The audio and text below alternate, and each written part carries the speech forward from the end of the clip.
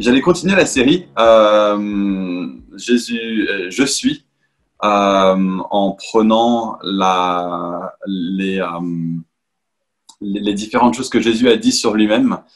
mais je pense que c'est peut-être bien ce matin qu'on soit un, brin liturgique et qu'on prenne un petit peu de temps pour se rendre compte que c'est le matin de Pentecôte, que c'est le, dimanche de Pentecôte aujourd'hui.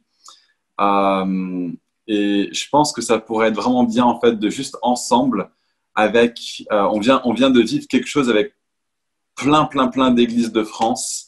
Eh ben, la majorité des églises en France ce matin sont en train de lire et en train euh, d'apprendre euh, de la part de, de la part de Acte 2. Et je pense que ce serait bien que ce matin, on, on, on se relise Acte 2.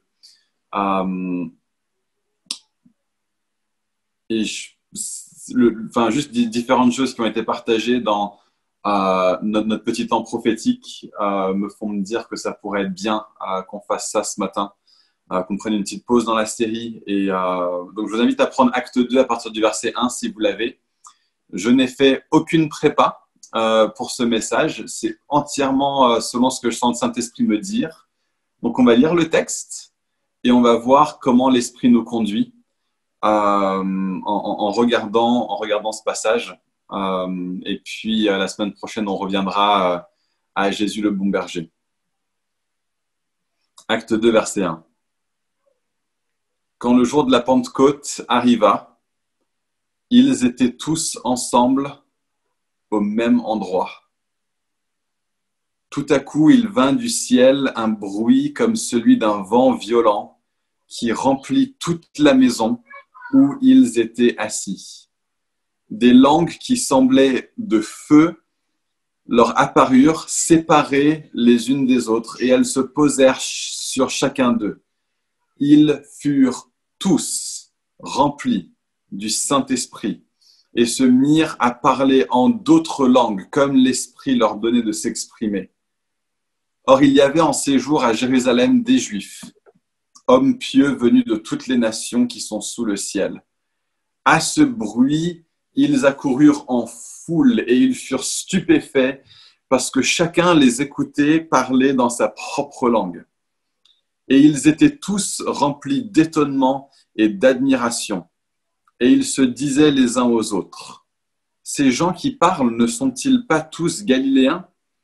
Comment se fait-il donc que nous les entendions chacun dans notre propre langue, notre langue maternelle, Parthes, Mèdes, Élamites, habitants de la Mésopotamie, de la Judée, de la Cappadoce, du Pont, de l'Asie, de la Phrygie, de la Pamphylie, de l'Égypte, du territoire de la Libye voisine de Cyrène et résidents venus euh, de Rome, juifs de naissance ou par conversion, crétois et arabes, nous les entendons parler dans notre langue des merveilles de Dieu tous remplis d'étonnement et ne sachant que penser, ils se disaient les uns aux autres, qu'est-ce que cela veut dire?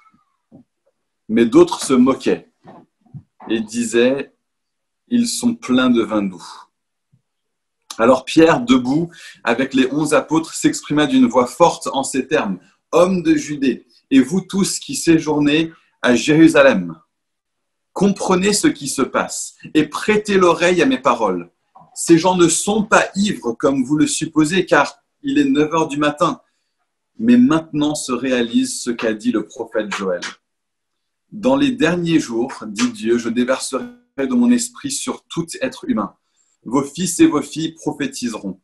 Vos jeunes gens auront des visions et vos vieillards auront des rêves. Oui, sur mes serviteurs et sur mes servantes durant ces jours-là. Je déverserai de mon esprit et ils prophétiseront. Je ferai des prodiges en haut dans le ciel et des signes miraculeux en bas sur la terre, du sang, du feu et une vapeur de fumée. Le soleil se changera en ténèbres et la lune en sang avant l'arrivée du jour du Seigneur, de ce jour grand et glorieux. Alors toute personne qui fera appel au nom du Seigneur sera sauvée. Israélites, écoutez ces paroles. Dieu vous a désigné Jésus de Nazareth en accomplissant par lui au milieu de vous des miracles, des prodiges et des signes, comme vous le savez vous-même. Cet homme vous a été livré suivant le projet défini et la préscience de Dieu. Vous l'avez arrêté, vous l'avez fait mourir sur une croix par l'intermédiaire d'hommes impies, mais Dieu a brisé les liens de la mort. Il l'a ressuscité parce qu'il n'était pas possible que la mort le retienne. En effet, David a dit à propos de lui, Je vois constamment le Seigneur devant moi parce qu'il est à ma droite, afin que je ne sois pas ébranlé. C'est pourquoi mon cœur est dans la joie et ma langue dans l'allégresse. Même mon corps reposera avec espérance, car tu n'abandonneras pas mon âme au séjour des morts. Tu ne permettras pas que ton sein connaisse la décomposition. Tu m'as fait connaître les sentiers de la vie. Tu me rempliras de joie par ta présence. Mes frères, qu'il me soit permis de vous parler en toute franchise au sujet du patriarche David. Il est mort. Il a été enseveli et son tombeau existe encore aujourd'hui parmi nous. Or, il était prophète et il savait que Dieu lui avait juré par serment de faire surgir le Messie, un de ses descendants, pour le faire asseoir sur son trône. C'est donc la résurrection du Christ qu'il a prévue et annoncé en disant qu'il ne serait pas abandonné au séjour des morts, que son corps ne, ne connaîtrait pas la décomposition. C'est ce Jésus que Dieu a ressuscité. Nous en sommes témoins. Élevé à la droite de Dieu, il a reçu du Père le Saint-Esprit qui avait été promis et il l'a déversé, comme vous le voyez et l'entendez maintenant. David, en effet, n'est pas monté au ciel, mais il dit lui-même, le Seigneur a dit à mon Seigneur, assieds-toi à ma droite jusqu'à ce que j'aie fait de tes ennemis ton marchepied. Que toute la communauté d'Israël sache donc avec certitude que Dieu a fait Seigneur et Messie ce Jésus que vous avez crucifié. Après avoir entendu ce discours, ils eurent le cœur vivement touché et dirent à Pierre et aux autres apôtres, Frères, que ferons-nous? Pierre leur dit, Changez d'attitude et que chacun de vous soit baptisé au nom de Jésus-Christ pour le pardon de vos péchés, et vous recevrez le don du Saint-Esprit. En effet, la promesse est pour vous, pour vos enfants, pour tous ceux qui sont au loin, et en aussi grand nombre que le Seigneur notre Dieu les appellera. Et par beaucoup d'autres paroles, il rendit témoignage et les encourageait en disant, Sauvez-vous de cette génération pervertie. Ceux qui acceptèrent sa parole furent donc baptisés. Et ce jour-là, le nombre des disciples augmenta d'environ 3000 personnes. Ils persévéraient dans l'enseignement des apôtres, dans la communion fraternelle, dans la fraction du pain et dans les prières. Voilà le récit de l'anniversaire de l'Église. Voilà comment l'Église de Christ est née. C'est un sacré anniversaire. Euh, je pense à, la naissance euh, de tous mes enfants et euh, c'était des, des, naissances pour nous en ce qui nous concernait magnifiques, belles, des jours forts, mais des jours vécus dans une entière discrétion. C'est presque comme si nous-mêmes, Rebecca et moi, on ne voulait pas que tout se sache trop vite. On voulait attendre un petit peu, laisser les choses, nous laisser le temps de vivre les choses et de communiquer juste à nos parents et euh, à, notre famille proche le fait que nos trois enfants étaient nés. Euh, et il y a eu une fois où l'un de nos parents l'a partagé avec le reste du monde euh, avant que nous, on ait eu le temps de le communiquer aux gens à qui on voulait en parler en personne. Et pour être franc, ça nous avait un petit peu fâché. on était là un petit peu en mode, mais enfin, c'est pas c'est pas correct de faire ça. C'était supposé être à nous. Euh, mais Dieu, le jour de la naissance de l'Église, a décidé de faire les choses complètement différemment. Le jour de la naissance euh, de Christ, ça a été fait euh, bah, comme un petit peu pour nous, au calme, dans, dans, dans, des conditions extrêmement humbles. Mais quand l'Église de Christ est née, le jour de la Pentecôte, le jour qui a commencé l'âge de l'Esprit, le jour qui a commencé euh, l'âge de l'Église, les deux qui sont concomitants parce que c'est par le fait que Dieu a rempli son peuple de son esprit qu'il y a eu euh, une transformation au niveau de la façon d'interagir de Dieu avec le monde parce que nous sommes maintenant un peuple entièrement rempli de l'esprit. ce jour-là, Dieu a voulu euh, que tout se sache. Il avait préparé le bouillon de culture le plus extraordinaire de l'histoire du monde. Il avait cultivé sa présence et sa parole et sa loi dans son peuple pendant des années et des années et des années et des années. Et au moment opportun, au bon moment, au bon moment, Dieu a envoyé son Fils. Son Fils est mort à la croix, son Fils est ressuscité pour triompher de la mort, pour permettre à ce que tous les ennemis de Dieu soient euh, démontrés publiquement comme étant vaincus, comme étant plus faibles que, que, le Dieu victorieux. Et après sa résurrection, Jésus a continué à enseigner ses disciples pendant 40 jours. Et puis au bout des 40 jours, on vit ce, jour qu'en tant que chrétien, j'ai l'impression on n'en voit pas la signification euh, assez souvent, le jour de l'ascension. Euh, c'est le jour où Jésus monte pour s'asseoir sur son trône. Euh, et, à partir de ce moment-là, on peut vraiment dire euh, que Christ est roi des rois et qu'il est maître et seigneur sur toute chose, que toute seigneurie, toute domination euh, lui appartient à partir de ce moment-là, du moment de l'ascension. Mais le Christ monté aux cieux, n'est pas seulement resté aux cieux, il nous a envoyé sa présence. Et tout au long de l'histoire de la Bible, on a cette, cette, histoire d'amour de Dieu qui veut avoir sa présence avec son peuple. Il a euh, créé l'humanité et, l'humanité dans sa, il a créé la terre plutôt et l'univers.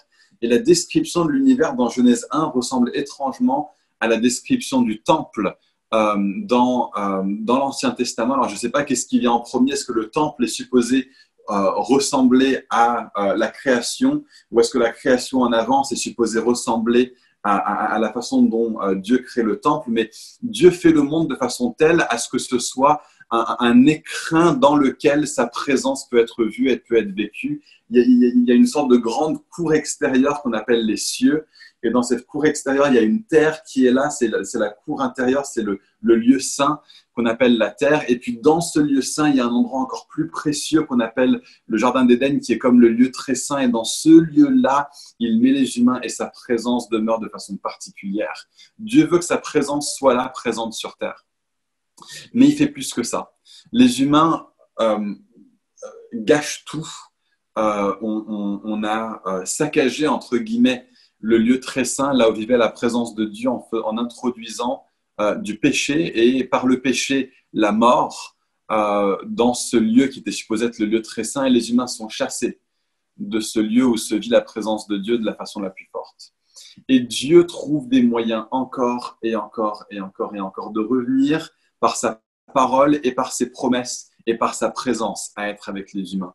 Il le fait avec Noé. Et, l'arche de Noé est à nouveau comme une sorte de temple dans lequel les promesses de Dieu sont préservées, dans lequel la parole de Dieu est obéie, dans lequel la présence de Dieu est. Et c'est pas anodin que ce soit euh, une colombe comme un symbole du Saint-Esprit qui est là et puis qui assure euh, que ce temple-là ait bien accompli son objectif à la fin de l'histoire de l'arche de Noé. Et puis Dieu fait amitié et alliance avec Abraham et puis avec Moïse et il développe des moyens pour conduire son peuple à avoir sa parole, ses promesses et sa présence dans un même dans un tabernacle qui est mobile dans le désert, qui est une tente faite de main d'homme désignée par Dieu mais encore imparfaite. Mais là, la, la présence de Dieu demeurait avec les hommes. Mais seulement certains pouvaient y entrer. Seulement certains pouvaient y entrer.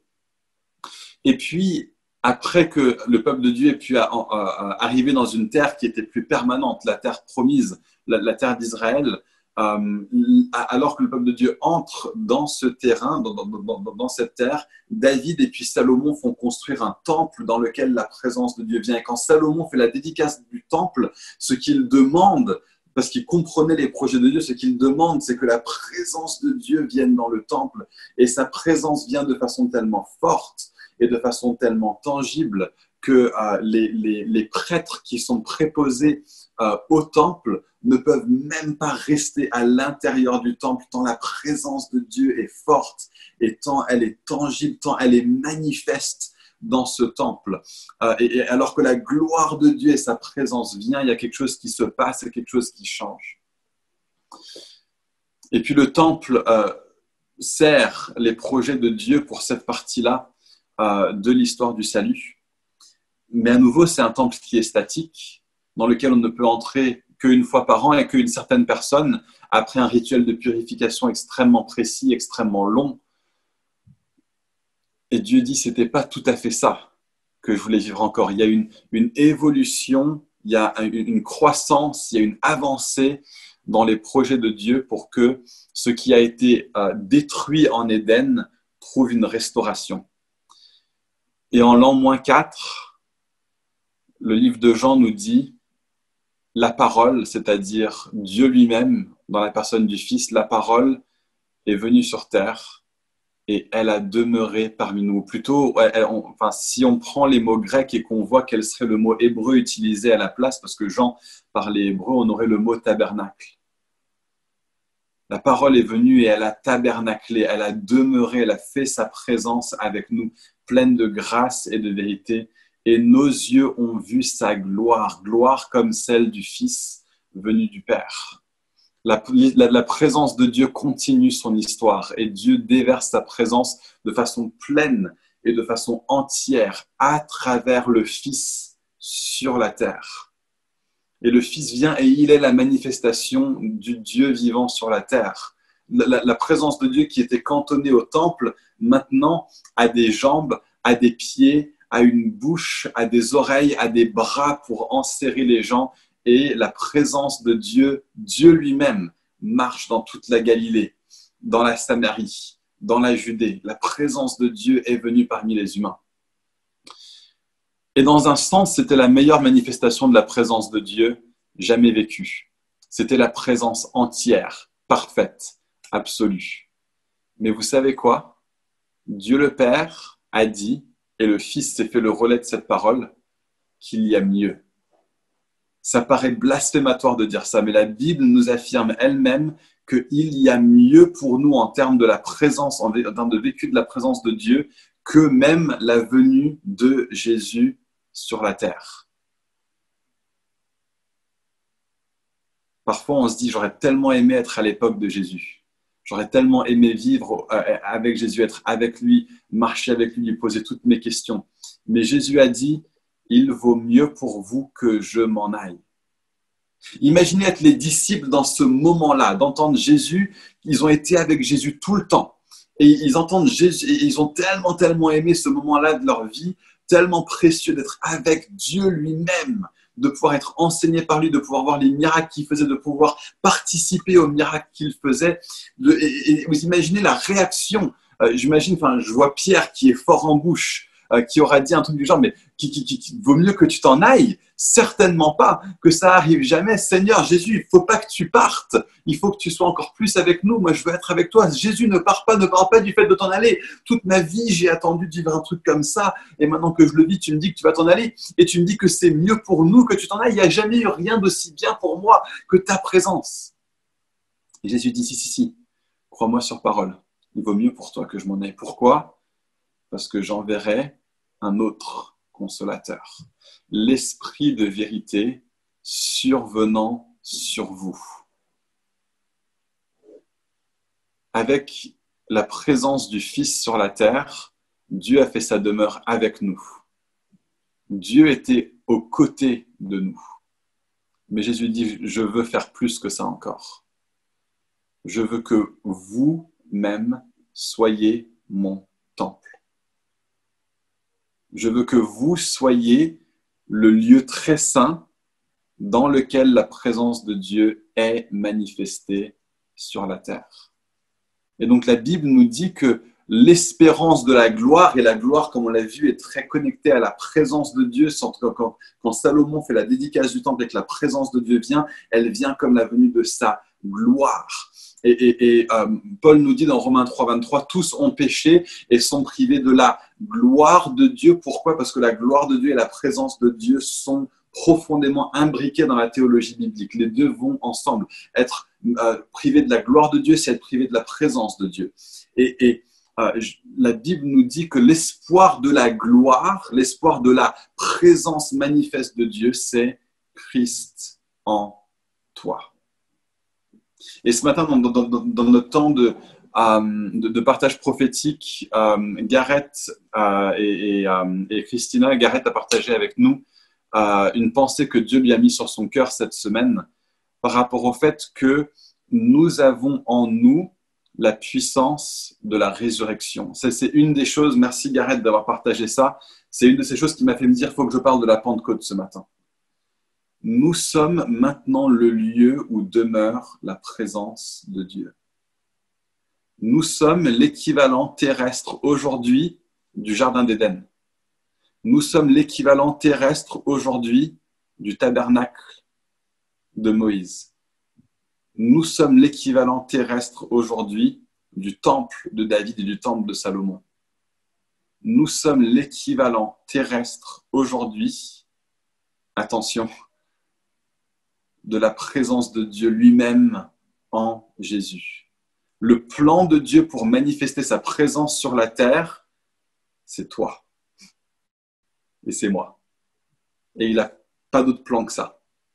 Il n'a pas d'autre plan que ça. La manifestation de sa présence aujourd'hui sur la terre se trouve en l'Église de Jésus-Christ. Et ça commence le jour de la Pentecôte. Tout ce qui avait été préparé dans le secret, tout ce qui avait été préparé à travers un couple tout au début, et puis un homme à qui il fait des promesses, et puis à un peuple qui est esclave en Égypte, et puis à une petite nation au milieu de tellement, tellement d'autres nations, et puis un petit bébé est maintenant mis en lumière. Le temps d'incubation à partir de la Pentecôte est fini. Le temps euh, de, de bouillon de culture que Dieu avait préparé pour son peuple historiquement est terminé. Et il y a un moment donné à la Pentecôte où Dieu dit maintenant, allumez les lumières.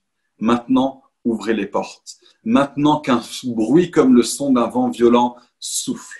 Maintenant que des flammes se déposent sur toutes les têtes. Ce que j'avais fait en mettant mon onction sur quelques personnes seulement est maintenant disponible à tout le monde. Et les amis, rendons-nous compte de la gloire et de la vérité de la Pentecôte aujourd'hui. Servons-nous de ce rappel annuel pour nous dire peut-être qu'on est passé à côté de ce à quoi l'Église sert. Peut-être qu'on est passé à côté de l'identité de l'Église. Peut-être qu'on est passé à côté de ton identité, de mon identité. Parce que la réalité, c'est que je ne vis pas ma vie quotidienne comme la manifestation vivante, ambulante, parlante de la présence de Dieu sur terre nous sommes la demeure du Saint-Esprit. Et tout ce que le Saint-Esprit fait, et tout ce que le Saint-Esprit veut faire, ses priorités sont maintenant à notre disposition et sont maintenant notre portion, sont maintenant notre héritage. Ce qui a été pour un seul peuple est maintenant pour tous les peuples. Regardez comment la Pentecôte met en lumière cette réalité les Parthes, Mèdes, Élamides, habitants de la Mésopotamie, de la Judée, de la Cappadoce, du Pont, de l'Asie, de la Phrygie, Pamphylie, de l'Égypte, du territoire de la Libye voisine de Cyrène, des résidents venus de Rome, juifs de naissance ou par conversion, crétois et arabes, entendent parler dans une même voix. La Pentecôte, c'est l'inversion de la malédiction qui s'est passée à Babel. À Babel, les humains qui parlaient tous d'une même langue. Euh, et, ça, c'est une histoire qui est présente dans l'Ancien Testament. Tout au début de la Bible, quand les humains ne parlaient qu'une seule langue, Dieu, à cause de leur orgueil, a conduit à une multiplication de langues. Et aujourd'hui, à travers le don de parler en langue et à travers le don de l'interprétation des langues, Dieu est en train d'envoyer un signe dire que la malédiction qui est tombée sur l'humanité à travers Babel commence maintenant son processus d'inversion des gens de toutes les nations peuvent comprendre et peuvent entendre la vérité de la parole de Dieu. Là où l'humanité a été divisée par des barrières de division ethnique, de division raciale, de division linguistique, de division culturelle, nous avons maintenant un royaume qui vient et qui se manifeste avec un seul nom au-dessus de tout autre nom pour nous rassembler en un seul et même peuple, détruisant les barrières. Et c'est pour ça qu'on a choisi le jour de la Pentecôte pour lancer la vidéo La bénédiction parce que nous-mêmes, en tant qu'Église, on a trouvé les moyens de se séparer. Nous-mêmes, en tant qu'Église, on a trouvé les moyens de mettre des barrières entre nous alors que nous confessons depuis le début de l'histoire de l'Église les mêmes choses sur les, sur les points les plus centraux. Je crois en Dieu, le Père Tout-Puissant, Créateur du ciel et de la terre, et en son Fils Jésus-Christ, qui est né sous euh, euh, qui, est né euh, de la Vierge Marie, qui a été, qui est mort et qui est crucifié sous Ponce Pilate. Il est ressuscité le troisième jour conformément aux Écritures et il revient pour juger les vivants et les morts. Je crois au Saint-Esprit. Je crois en l'Église, une, catholique, c'est-à-dire universelle, apostolique. Je crois en la résurrection des morts et la vie éternelle. Toutes les personnes que vous avez vues sur la vidéo ce matin croient et confessent ces choses-là. Et nous le croyons et nous le confessons depuis le premier siècle de l'Église et depuis le jour de la Pentecôte. Voilà notre cri de ralliement. Voilà notre, euh, message. Voilà qui nous sommes. Et, euh, alors que les nations cherchent à persécuter l'Église, notre cri de ralliement sera toujours je crois en Dieu, créateur du ciel et de la terre, et en son Fils, Jésus-Christ, notre Seigneur. Ces paroles n'ont pas été écrites pour être répétées de façon euh, euh, lente et ennuyeuse les dimanches matins, semaine après semaine. Ces paroles sont un cri de guerre. Ces paroles sont l'affirmation claire et nette de qui est le Seigneur de l'univers. Et voilà ce que croit l'Église. Voilà ce que Pierre a prêché lors de la première Pentecôte. Et voilà ce que nous sommes appelés à prêcher nous aussi en tant qu'Église.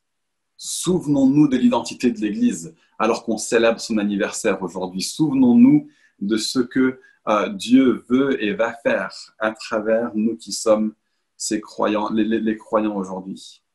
Souvenons-nous que la puissance de la résurrection de Jésus n'est pas seulement montée avec lui au ciel pour y rester. Cette même puissance qui a ressuscité Christ d'entre les morts, a été déversée librement sur vous tous. Elle a été déversée librement sur nous. Et, tellement souvent, on peut, on peut vivre tellement conscient de notre faiblesse et être tellement conscient de nos blessures et être tellement conscient des choses qui n'arrivent pas encore qu'on oublie d'être conscient de ce que Jésus dit sur nous on oublie d'être conscient de la réalité euh, qui est proclamée de façon incroyable dans ce texte. Est-ce que nous vivons à la lumière de ce que dit la Bible ou est-ce que nous vivons à la lumière de notre expérience? Est-ce que nous laissons notre expérience être informée par la Bible ou est-ce que nous enfermons la Bible dans le carcan de notre expérience? Et je crois qu'il y, y, a vraiment un appel de Dieu sur nous d'être une église qui dit je, je crois en la Bible je crois en ce message. Je crois que ce jour-là, c'est vraiment, vraiment produit. Et je crois que le sens de ce jour est véritablement pour nous aujourd'hui, qu'il n'a pas changé, que Dieu est le même hier, aujourd'hui et éternellement, que nous sommes dans le même âge de l'histoire du salut que l'étaient ces personnes qui ont vécu ça ce jour-là. Et vous savez quoi? La plus belle expression de l'Église qu'on trouve dans toute la Bible. Je pense qu'il y a très peu de monde qui serait euh, pas d'accord avec moi sur cette affirmation-là. Elle est subjective, mais je pense quand même qu'on est tous plus ou moins d'accord avec ça. C'est que euh, bah, acte 42, acte 2, 42 à 47 vient juste après acte 2, 1 à 41. Euh, et acte 2, 42 à 47 nous parle d'une église avec une communion interne qui est tellement, tellement belle et qui est tellement, tellement forte. Le in de l'Église est magnifiquement, magnifiquement démontré dans Acte 2, 42 à 47. La, relation à Dieu, la gloire, le, fait que nous sommes un peuple complètement centré sur Dieu, avec une passion pour lui et pour qui il est, et pour sa nature et pour ses attributs, est tellement, tellement manifeste dans Acte 2, 42 à 47. Le, le out de l'Église, le témoignage de l'Église envers le monde est tellement, tellement manifeste dans Acte 2, versets 42 à 47. On, a une, vision pour Fireplace d'être une église avec une communion spirituelle interne vraiment forte, un engagement les uns envers les autres, un amour les uns envers les autres, un partage de nos vies, une vulnérabilité les uns envers les autres, qui, qui, est forte. On cherche à la puiser depuis la Bible, cette idée de la, de la communion, de l'engagement les uns envers les autres. On a une vision pour notre Église d'une louange qui est passionnée, qui est centrée sur Dieu, qui l'exalte, euh, qui met tout l'accent sur Dieu, qui se réjouit de la grandeur de Dieu et qui se délecte de sa nature et de ses attributs, et qu'on tire depuis les pages de la Bible. On a une vision en tant qu'Église pour rayonner, pour briller, pour faire connaître ce Jésus merveilleux de la même façon que Paul l'a fait en cette matinée de la Pentecôte. On a une vision d'être une Église qui met en avant et qui permet l'exercice de tous les ministères qu'on voit dans Acte 4, les ministères apostoliques, prophétiques, évangélistiques, pastoraux, enseignants. Mais tout ça, ça vient de la puissance et de la présence du Saint-Esprit au moment de la Pentecôte. Donc les amis, j'ai à cœur ce matin de nous rappeler encore une fois à vivre la vision que Dieu nous a donnée en tant qu'Église, parce qu'elle ne l'a pas donnée parce que quelques personnes ont pensé à une belle vision. Je pense que ce qu'on décrit comme vision pour Fireplace est juste une façon de parler en quelques mots brefs et simples de ce qu'on voit dans les pages des Écritures.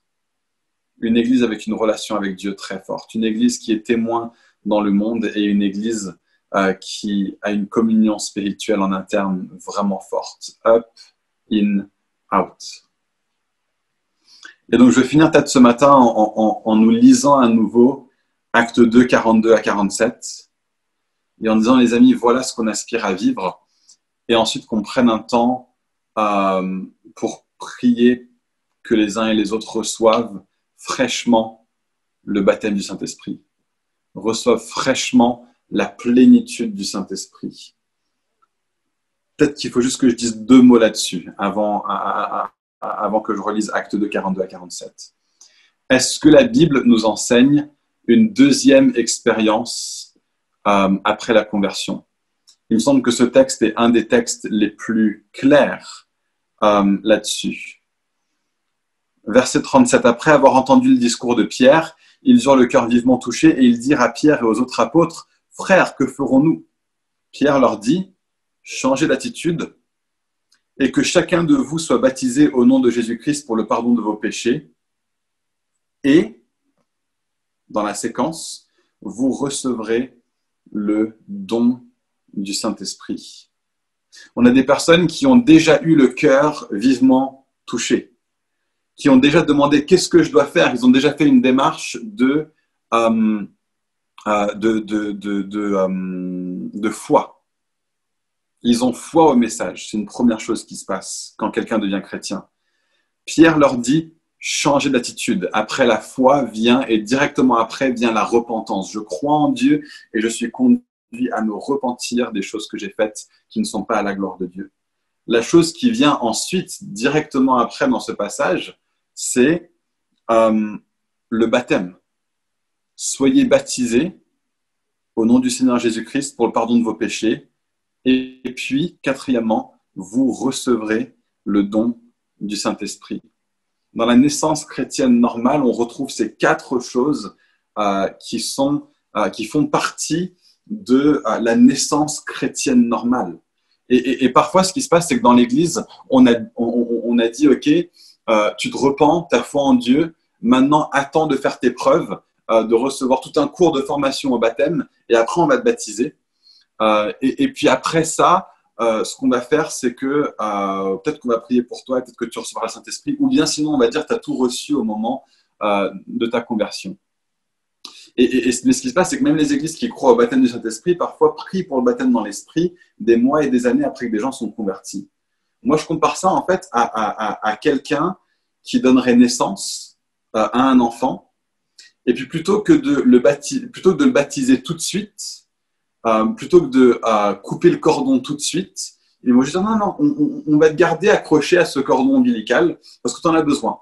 Et si on coupe le cordon ombilical, eh ben, tu vas pas réussir à, euh, à, à, avoir tout ce qu'il te faut au niveau nutrition et au niveau vie. Alors que dans la naissance normale, le cordon est coupé très rapidement après la naissance. Et on se dit à partir de maintenant, ce n'est pas de ce cordon ombilical dont tu auras besoin pour avoir ta nutrition. Ta nutrition viendra d'autre part. Donc on coupe le cordon ombilical avec le baptême. Et on dit maintenant, tu es mort à ton ancienne personne, tu es né en nouveauté de vie maintenant en Christ. Et un enfant, tout de suite après sa naissance, il est mis au sein, il est mis à l'allaitement. Pourquoi? Parce qu'il a besoin d'avoir un moyen de nutrition et de, et, de, euh, et de vie spirituelle tout de suite après sa conversion. Il naît et il est vivant à travers repentance et foi. Il est baptisé comme le fait de couper le cordon. Et le baptême dans l'esprit, c'est le fait d'être mis directement euh, en contact avec sa source de nutrition. Mais c'est pas qu'une seule fois. Parfois, on voit le baptême du Saint-Esprit comme un truc d'une seule fois, alors que Paul dit soyez continuellement remplis du Saint-Esprit, comme un enfant qui doit allaiter constamment, fréquemment, souvent, souvent, souvent. Soyez continuellement remplis du Saint-Esprit. Recevez continuellement sa présence sur vous. Et donc, on, va lire Acte 2, 42 à 47. Et je vais juste prier. Je pense qu'on va peut-être pas se mettre en groupe cette fois-ci. Euh, à, moins que Kevin, tu trouves vraiment que ce soit une bonne chose qu'on se mette en groupe. Euh, je te regarde, fais-moi signe de la tête, oui ou non. Ok, je te vois en train de parler. On continue et puis on voit. Si, tu veux qu'on se mette en groupe, dis-le, de toute façon, c'est toi le chef. Ok? Ça marche. Bon. Je vais juste lire ouais, Acte 2, 42 à 47 qu'on s'imprègne à nouveau de ce à quoi ressemble une église remplie de l'esprit. Et puis, je vais prier et demander à tout le monde qu'on prie ensemble pour qu'on reçoive un baptême frais du Saint-Esprit. Acte 2, 42. Il persévérait dans l'enseignement des apôtres. C'est du bon petit up, ça. Dans la communion fraternelle. In. Dans la fraction du pain et dans les prières. Ça, c'est du in et du up ensemble. La crainte s'emparait de chacun et il se faisait beaucoup de prodiges et de signes miraculeux par l'intermédiaire des apôtres. On a un petit peu du in et un petit peu du out à travers ça. Tous ceux qui croyaient étaient ensemble et ils avaient tout en commun. Amen. Ça, c'est du vrai in. Ils vendaient leurs propriétés et leurs biens et ils en partageaient le produit entre tous en fonction des besoins du chacun. Quelle magnifique vision du in. Chaque jour, avec persévérance, ils se retrouvaient d'un commun accord au temple. Ils rompaient le pain dans les maisons et ils prenaient leur nourriture avec joie et simplicité de cœur. Ils louaient Dieu et ils avaient la faveur de tout le peuple et le Seigneur ajoutait chaque jour à l'Église ceux qui étaient sauvés.